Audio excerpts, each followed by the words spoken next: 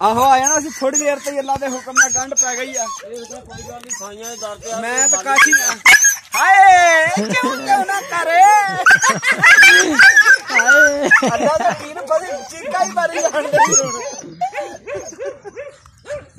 ਆ ਵੀਡੀਓ ਬਣਨ ਡਈ ਆ ਵੀਡੀਓ ਤੇ ਨੀ, ਓਏ ਕੈਮਰਾ ਦੇ। ਬਣਾ ਖਾਲੀ ਦਸਾਂ 12 15 ਮਿੰਟ ਕੁੱਤਾ ਉੱਧਰ ਪੂਰਾ ਜੋ ਬਣਾ। ਦੋ ਦਿਨ ਤਮਾਸ਼ਾ ਬਣਿਆ ਰਿਹਾ ਨਹੀਂ ਨਹੀਂ ਬਾ ਠੀਕ ਆ ਦੇ ਮੂੰਹ ਵਾਲਾ ਇੱਧਰ ਕੁੱਤਾ ਛੁੱਤਾ ਤੂੰ ਸਾਰੀ ਬਣਾਣਾ ਕੁੱਤੇ ਦੀ ਮੂਵੀ ਯਾਰ ਪਤਾ ਲੱਗੇਗਾ ਮੈਨੂੰ ਕੁੱਤਾ ਪੈਂਟਰ ਪਿਆ ਉੱਤੇ ਕਿਉਂ ਕਾਸ਼ੀ ਸਾਹਿਬ ਹਾਏ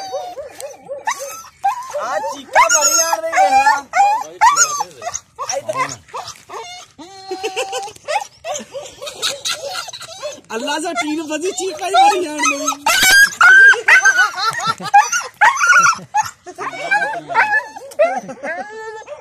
ਤੇਰੀ ਮਾਂ ਮਾਂ ਪਤਾ ਨਹੀਂ ਸੀ ਉਸਤਾਦਾਂ ਨੇ ਜਾਣ ਠੀਕ ਆ। ਕੌਣ ਆ? ਮੁੰਡਾ